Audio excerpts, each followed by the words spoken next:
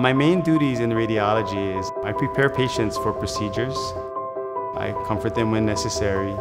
Oftentimes I'm in the room giving sedation to keep the patients comfortable and pain-free.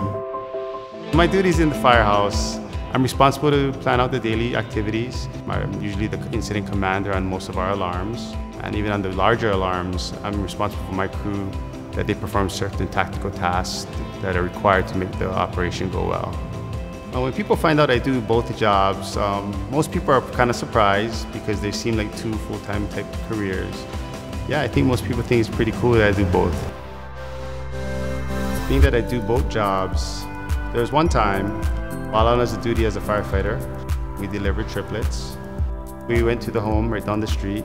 First baby was out, and then we delivered the second two babies and got them in the ambulance.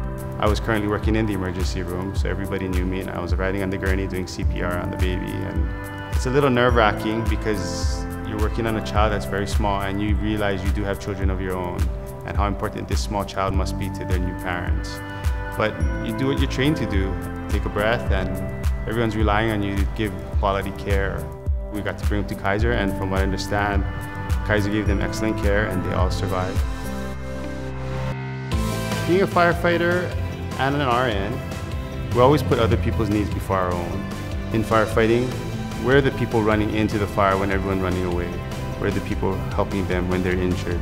It's the same thing with RN. I'm always there for patient care.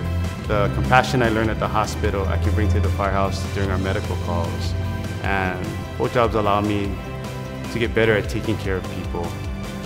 Hi, my name is Blaine Shimizu. I've been a firefighter for 24 years.